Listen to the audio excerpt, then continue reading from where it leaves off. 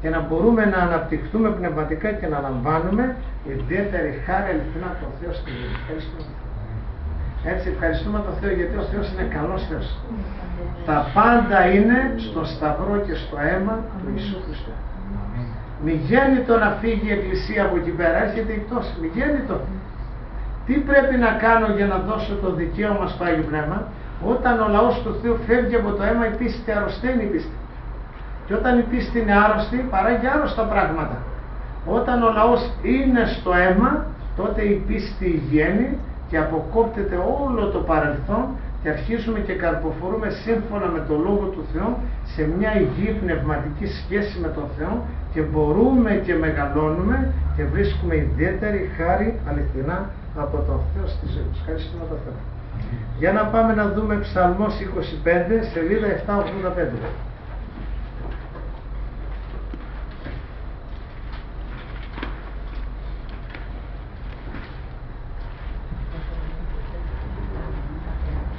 Σελίδα 785, Ψαλμός 25.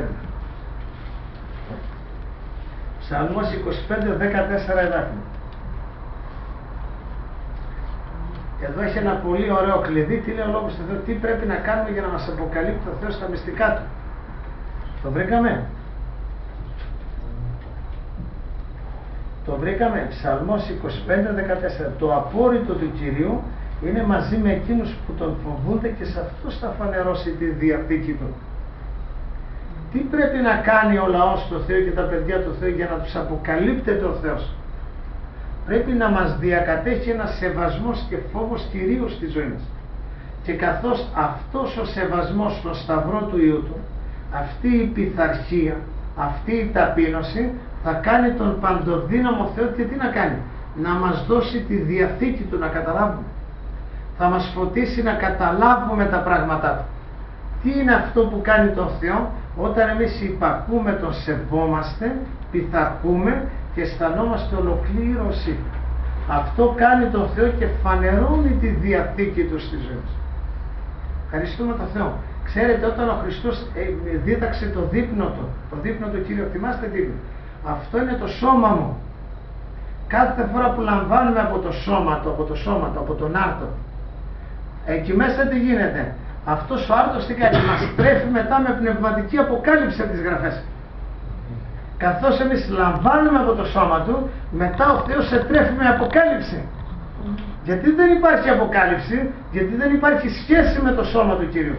Και μετά ο Θεός τι κάνει, μας τρέφει πραγματικά με θαυμαστή αποκάλυψη και λαμβάνουμε ιδιαίτερη χάρη για να μπορεί ο Θεός να εργαστεί. Είναι πολύ μεγάλη αποκάλυψη κάθε φορά που λαμβάνουμε από το σώμα Του ο Θεός τι κάνει, μας δίνει αποκάλυψη για να μπορούμε να λάβουμε αληθινά από τον Θεό στη ζωή μας και να χαρούμε πραγματικά από το σώμα και το αίμα. Ευχαριστούμε τον Θεό. Για να μπορούμε να πλουτίσουμε πραγματικά με τη Διαθήκη του Θεού. Τι πρέπει να κάνουμε, να σεβόμαστε το σταυρικό έργο του Χριστού για να μπορεί ο Θεός τι να κάνει, να μας δίνει αποκάλυψη όχι πράγματα του μυαλού που έχει, έχει γεμίσει ο κόσμος. Αποκάλυψη που είναι φαγητό. Αποκάλυψη που είναι ζωή πραγματικά και λαμβάνουμε ιδιαίτερη χάρη αληθινά από το Θεό στη ζωή μας. Έτσι, για να πάμε τη σελίδα 804 να δούμε κάτι. Ψαλμός 51.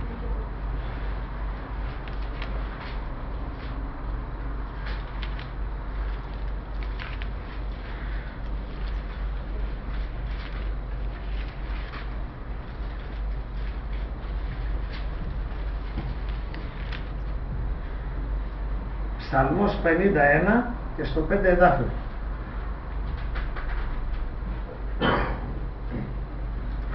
Προσέχτε τι λέει ο Λόγος του Θεού. Ψαλμός 51 και στο 5.